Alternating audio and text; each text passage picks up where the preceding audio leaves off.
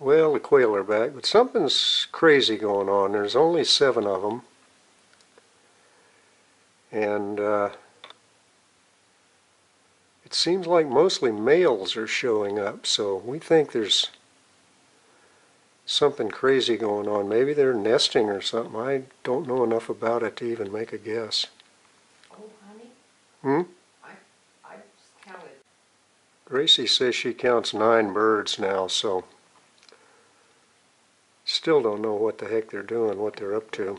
oh, there's some more. Hmm? Oh, I can see the three down there to the right.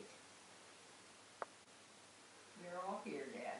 Gracie sees ten, so that's that's good. And of course, there's old Rocky. He's our favorite. There's eleven. Eleven? Well, while I've been taking photographs, Gracie's made some counts, and we're absolutely thrilled that all 11 birds are here. That's the first time in a week, or maybe more than that, that they've all been here.